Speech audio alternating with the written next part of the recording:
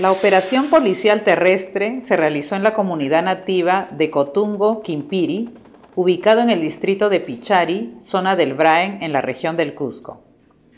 Los agentes antidrogas lograron ubicar una pista de aterrizaje clandestina y encontraron en los alrededores de esta zona cuatro sacos que contenían 139 kilos de alcaloide de cocaína.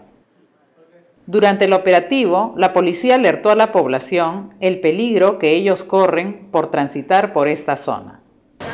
Y nosotros estamos luchando contra todo ello. Y los que estaban ahí arriba tenían armamento. O sea, que a ustedes si pasan por ahí de repente si les confunden les pueden matar. La policía también incautó una pistola automática con ocho cartuchos, una caja de municiones y cuatro radios de comunicación portátiles, así como tres celulares que utilizaban los narcotraficantes. Se informó a Inforregión que en el operativo se capturó a Ever Zamora Dipas, integrante de una organización criminal con redes internacionales, quien cuidaba el cargamento de droga.